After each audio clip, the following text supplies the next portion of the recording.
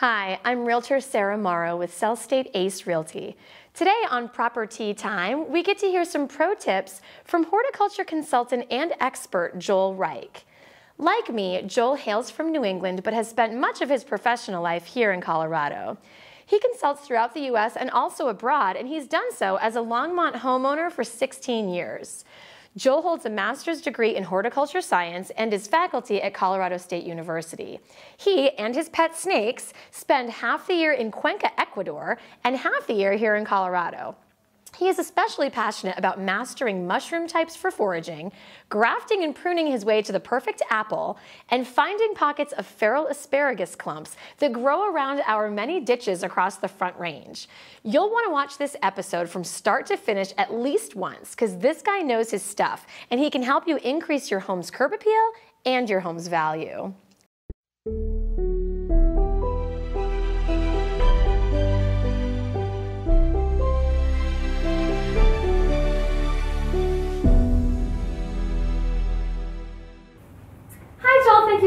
Being here today. Sarah, thanks for having me on. It's you real, real pleasure. Likewise.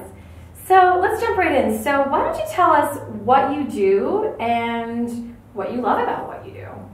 Sure, easy. So I'm a horticulture scientist. I've had experience and training in just about every kind of plants that you can possibly have. And what I do these days and have done for a number of years is I consult. I give good advice to people everywhere from multi-million dollar private companies producing horticultural crops of various types, all the way down to people with a landscape that maybe just bought the house and want to know how to address what they've got or the changes they'd like to make over the first couple of years in the house, and everything in between. I work with uh, public education groups, I work with community gardens, and again, just about everything greenhouses, cut flowers, you name it. If it's plants, I, I, like to get into it, and that leads me into what I like about it is the diversity. I'm very fortunate that I've got kind of an expansive set of knowledge, and I get to do different kinds of things every day with every different client. Wow. So, going back to the homeowner piece. Let's say I just moved in and I've got a postage stamp of a yard, or I've got three acres for that matter what are some ways that I can increase the enjoyment and even the value of that property, either slowly over time or all at once if I don't have as green a thumb as you do? Yeah, well, um, first I would say there's a lot of ways you can approach a landscape.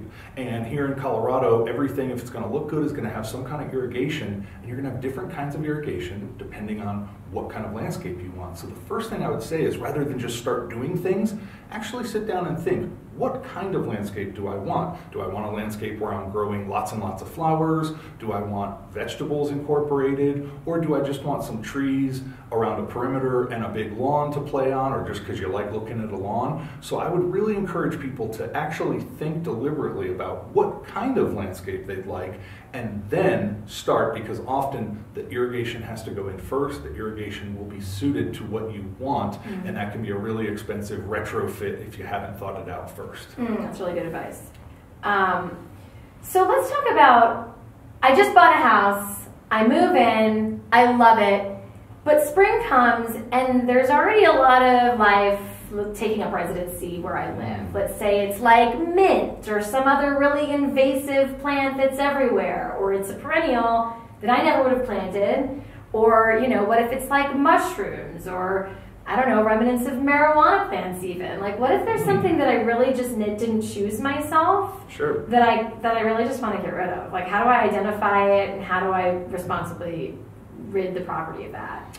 Yeah, that's a really interesting question. So, um, identification, certainly somebody like me could help you with that. Um, a place I used to work is the Colorado Agricultural Extension Service, and they've got a lot of materials online, but they also offer free or very inexpensive plant identification services. So you could take pictures, or typically they're going to ask you for a sample, bring it to your local office. There's one in every county, and that's part of their job is to identify plants for you. So one, you want to identify, and once you identify what it is, whether it's a plant, a mushroom, a, a marijuana plant, or whatever, like you mentioned, there's going to be a different appropriate way to kill or remove all those things. So it starts with the identification. Many plants you could just dig them out. A lot of perennials, like you mentioned, a shrub that you just don't like, usually digging it out is going to be easy. Uh, for many people, use of an herbicide is going to be an appropriate um, choice, and that can be easy. And there are a wide variety of herbicides out there, including ones that are considered organic for, for people that that's important too.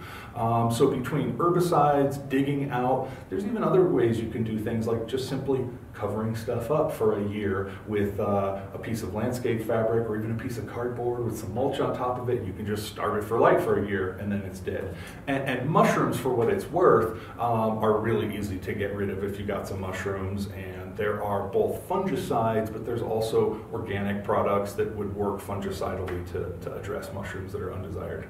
Wow, cool. So you mentioned CSU, although I'm not sure that you use those exact words. Can you talk more about the folks that are going to help us identify plant life and how to reach them?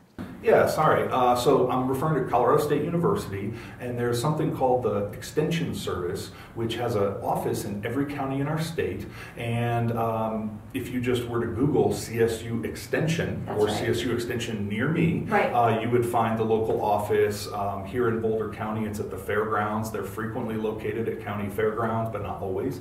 Um, and again, uh, that's a taxpayer-funded organization um, that, you know, again, part of their responsibility is to identify plants and um, help people with this kind of horticultural stuff. Awesome, thank you. Yeah, I've used them in my orchard. I sent them some soil samples to get my pH levels right and to figure stuff out. They were very responsive, and they've got a whole lab, which I kind of geek out on. While we're on the topic of orchards and trees, I want to talk about the relationship between trees and houses. One of the things that comes up in a real estate transaction often is the health of a tree, the safety of the tree, the closeness of the tree and its root system to the home. Um, can you talk about responsibly planting a tree, like how far that needs to be from the house?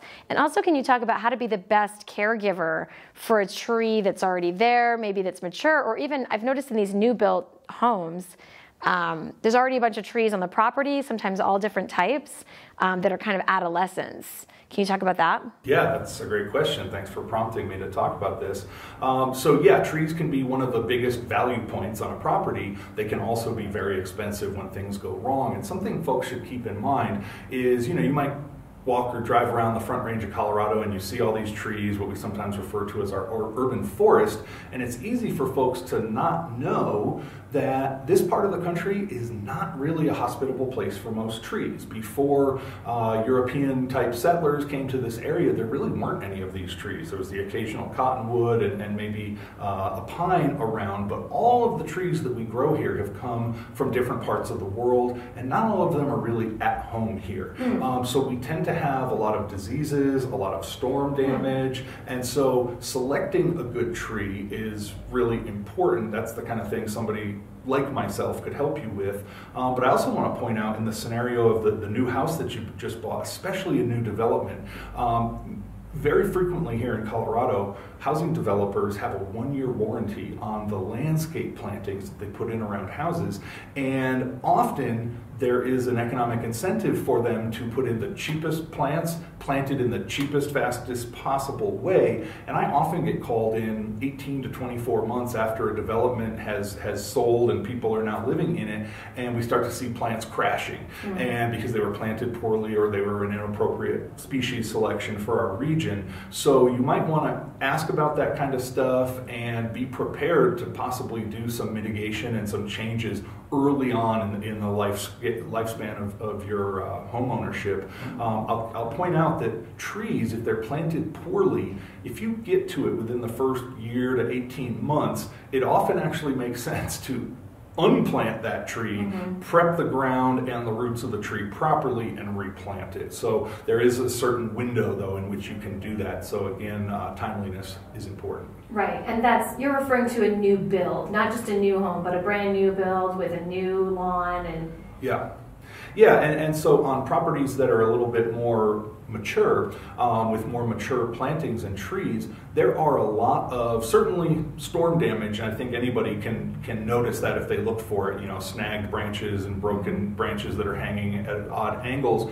But there's also a lot of vascular diseases, right? These are bacteria and fungi that infect the the vascular system of the trees. One thing I'd always encourage people to look for is signs of any kind of seeping or leaking on the trunk, maybe coming from a branch angle or especially from a place where a branch has been removed. You might see some dark or wet staining on the trunk down below that. That's an indication that you've got some rot going on inside the tree that can often lead, not necessarily immediately, but within a few years, to uh, the need to remove the tree, which is a very expensive proposition. So there's a couple of things you should really look for. I'd also encourage people, especially on a, a more established property, to test out the irrigation system if there's a if there's an mm-hmm. in-ground irrigation system they often have problems and anytime you're doing work underground prices can be very high so look for that kind of stuff as well thank you for the tip um, I want to talk about xeriscaping. It seems to be this new trend, which I think is great given the scarcity of water that we're experiencing here in Colorado, especially. Yeah.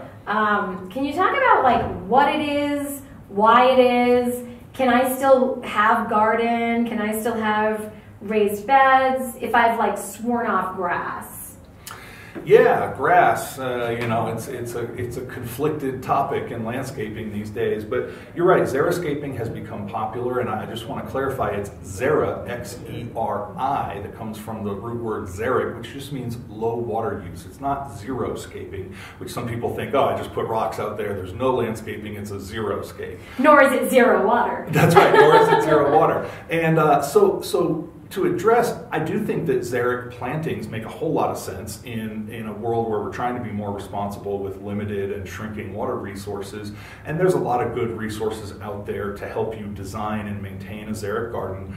Two things I would say though. One, the biggest pitfall that I see people get into when they attempt to install a xeric garden or say switch a lawn area over to a xeric planting is that they don't address the weeds, especially perennial weeds and also the seeds, what we call the seed bank of annual weeds in that area. So they put a lot of work in in putting in their xeric landscape and then they are plagued by weeds. And I would encourage anybody doing this to take a little time between taking out the lawn or whatever the previous landscape was before you install the xeric landscape. There's some methods you can use to eradicate the weeds that are there and all of that is much easier you have a lot more options and a freer hand in managing those weeds before you've put in your new plantings and, and hardscape. So I wanted to mention that. And I also wanted to point out, to respond to your question, with irrigation systems these days, it's actually very easy to have a predominantly xeric landscape, but if you want to have vegetables, or let's say you want to have all xeric plantings, but you'd really like to have a 10 by 10 patch of lawn to go lay on in the summer.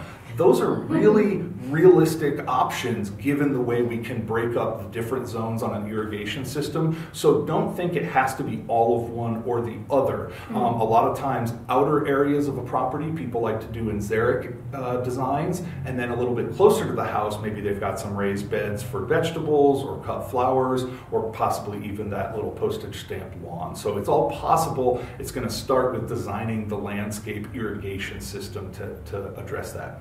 Proper pro tips. Yeah. Jeez, this is rich. Okay, um, let's talk about this no mow May or no mowing. If you do have a lot of grass, yeah. Am I overwatering my grass now that I'm a Coloradan? Am I am I mowing too frequently? Am I mowing too early in the season? We're getting so much rain, I couldn't even mow this week if I wanted to. So, can you talk a little bit about mowing and why people wait to mow? I don't really get that. I don't always completely get it myself. I, my understanding is a lot of the motivation behind this is motivation. sorry. sorry, sorry, sorry, sorry. Good one. Sorry, I didn't catch that. Um, so, so I believe one of the reasons is people are concerned about pollinators, and there are certain wildflowers, even weeds, that will come up in some people's lawns in May. And I know that some of the push behind No Mow May is to allow those flowers to bloom and provide pollen and nectar forage sources for some of our pollinators. Right. I'm a little conflicted. I think that there's other better, more efficient uh, ways that we could address that. I'd also say this especially in a rainy year like this, May and early June are when our lawns are growing the fastest. And we all know our mowers can cut a certain amount of grass, but if that grass gets too long, it's just going to bog down and you actually can't mow it with your mower anymore. Mm-hmm. So I think maybe looking for a happy medium between letting it grow longer but not so long that you can't then mow it. Um, so get on it. Yeah, and I just want to throw out one other thing about mowing letting the, the grass clippings mulch, right, as opposed to bagging them and taking them away, is a really good idea. It's actually kind of a sad irony that I see a lot in landscape management and lawn management because we're putting fertilizer onto our lawns, mm-hmm. then it goes into the grass. Those clippings are actually rich in nitrogen. So we take them off, we send them to the dump, and then we buy more fertilizer and put it on, and it's not really a particularly responsible or efficient way to manage the nitrogen cycle in our landscape. So I really encourage you to mulch the lawn with the clippings. So, since you're on the topic of mulch, and I do this a lot on my own property, um, can you talk about grass clippings, wood chips, pine needles, leaves? Do these really reduce the necessity of water? Like the frequency of watering, or does it really just help make the property look more buttoned up? I love to talk about mulch. So, first of all, the two main things that you benefits that you will get from mulching is one, you absolutely can reduce water loss from the landscape and therefore reduce the amount of water you need to add. Because if you think about it, the top of the soil surface is where you're going to evaporate a lot of water up into the air as vapor. By putting a mulch down, you're actually creating a little bit of a vapor barrier so that that water, that that soil surface isn't getting hit by the sun, it's not having our dry winds blowing across it that's going to kind of scour water out of that surface. So just by its physical presence, you are retaining more water in the soil profile. So that's the first thing that you get from mulch. Second thing is mulch can be very effective at suppressing the growth of weeds. Very careful, important distinction here annual weeds. These are weeds that are coming back from seed year after year. Mulch will do nothing to suppress perennial weeds like your Canada thistle or your bindweed. They're just going to come right up through it, and frankly, they might thank you on the way and say, hey, thanks for mulching because I have plenty more moisture to work with now. Um, but for annual seed based weeds, you can really suppress a lot of that growth because you cover them up, the seeds don't get exposed to light. Many of them require a little exposure to light in order to germinate. So, those are the two big benefits with mulch. Another thing I'd like to clarify for people is that mulch isn't a thing per se. It's more of a verb. It's a thing we do. So many people have in mind that you go to the store and buy mulch that implies that there's one thing that is mulch, when in fact you could use compost to mulch with. You could use wood chips or bark chips to mulch with. Uh, we've also seen a lot of increase in things like recycled tire chips being used as mulch. Um, in farming and, and, gardening, we often talk about using plastic mulch, where you see people cover beds in a plastic mulch. Which one? It's going to retain moisture in the soil, it's going to suppress weed growth. So it's a mulch, even though it's not exactly what most people think of when they hear the word mulch. But mulching in general is a great practice. Mm, awesome. Appreciate the clarification on that as a mulcher. So I recently read that a single almond takes up to three gallons of water to grow to full size. So given that, and given that we live in a really arid place where we all need to be responsible about our water use, what are the five or six veggies or fruits that as a busy professional, I'm best off planting in my one or two raised beds? Well, boy, that's a big question. Um, I, I, would say this though. uh, even though vegetables as a group take a fair amount of water because they're producing something for us. Uh, by square footage, a vegetable garden doesn't necessarily take any more water than, say, lawn. In many cases, you can grow a very bountiful vegetable garden with less water per square foot than a lawn would require. So, just in that sense, a vegetable garden can be considered a water saving planting versus lawn. On top of that, Last time I checked, none of us are really eating a lot of grass for dinner, um, but the vegetable garden is actually producing something that you can eat with the water that you're putting in. So you can do it with less water than a lawn by comparison and get something delicious and healthy out of it. Um, I would also say that drip irrigation is really important. Uh, I think a very strong argument can be made that the invention and the development and deployment of drip irrigation around the world is probably the single biggest innovation for water savings that's ever happened in human history. Wow. Um, because you can deliver the correct amount of water, but just to where your plants are. So not only is it a very parsimonious way to use our water resources, mm-hmm. but you also can avoid, for instance, irrigating the areas between your desired plants, which in turn suppresses weed growth because you're withholding resources for them to grow in those areas between where your drippers are. Um, and then you also asked, you know, what would be a good or an easy crop or vegetable to grow if you're a busy professional. Um, I know a couple of those people. who don't have enough time in their life um, to do everything. And, and I would just say this potatoes and onions, they are very easy crops to grow. They both like water, but again, not more than a, a, a, relatively similar area of lawn would, and they're really, really easy to grow, and they're things that our climate here is great for. There's a lot of potatoes and onions grown commercially in Colorado for that reason. And I used to avoid growing those two crops for many years as a gardener because I thought, well, they're so pedestrian. How much better could, could a garden potato be than a grocery store potato? Or the same thing with onions. And then it was like 20 years ago I realized what a bonehead I'd been because actually they are wonderful. And I, I won't go on and regale you with tales of delicious potatoes and onions, but of course they cook up nicely together. Most meals go well with a side of potatoes and onions, and uh, they're, they're pretty darn easy. So I would I would encourage if you just wanted to do one little plot of something productive, try some potatoes and onions. Pedestrian? I love that. I'm stealing that. This, this is pretty pedestrian. I've seen you on YouTube uh, do some grafting. And I admit, as an orcharder, I look at that like wizardry, like magic. You made a crabapple, peach, plum tree out of an apple tree. And uh, I guess I'm curious if I'm a new homeowner in a new property, could such a tree with a lot of variety, if I could get the grafting right, become an asset? So that's a big, huge question that I want to talk about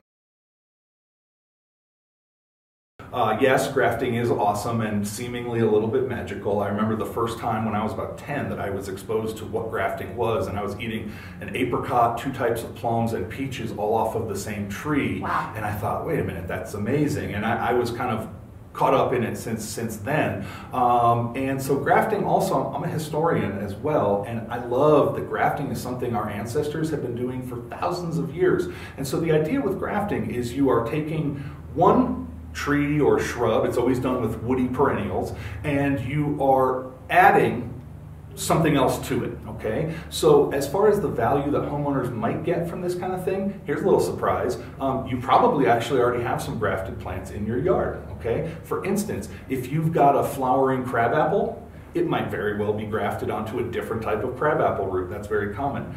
Almost every rose bush that is hmm. sold has been grafted. And it's a good example of why we graft, okay? So, in developing really lovely, showy roses with nice uh, aromas, for instance, often the plant itself and its root system becomes a mm. little bit of a weakling and it gets prone to all kinds of diseases to you know being fussy about the soils or the climate it's planted in so what's typically done with roses is you take a wild rose that is just tough as nails that's the root system and then just above the level of the ground you cut off the wild rose and you replace it with a scion of the desired rose variety, and now you're getting the best of both worlds. And that might be the best phrase to describe it. Mm-hmm. With the apple trees and fruit trees I work a lot with, again, same thing. We want the super tasty, delicious, productive apple or pear or peach but we don't want the roots of that variety because they are weak. So we put on different roots. There's been hundreds of years of breeding programs to just develop apple and peach and cherry root systems that nobody's ever going to let them fruit. We're just putting the really desirable variety on the top. So, for instance, um, it is probably most commonly used in terms of fruit. And you mentioned combining different fruits on a tree. There's certain rules we've learned in horticulture, um, and this is kind of the essence of horticulture, right? Is how to understand plants, what they give us naturally, and then how, as humans, we can come in and team up with what the plants bring us with our own ingenuity to make even better things. And so, for instance, some of the rules I'm talking about is like you can graft all kinds of apples together. You can graft crab apples and apples together. You can't graft pears to apples, but you can graft Asian pears to European pears.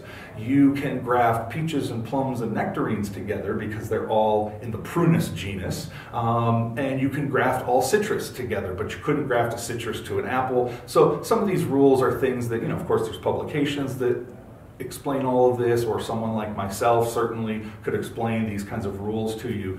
One thing that's um, just to show you the creative way you could actually use this in an ornamental landscape is let's say somebody said, um, well, I really like maple trees, but I can't decide between a red leaf Norway maple and a green leaf Norway maple. You could have somebody like me come over and make you a custom tree that had alternating branches of red and green leaves if you if you wanted to.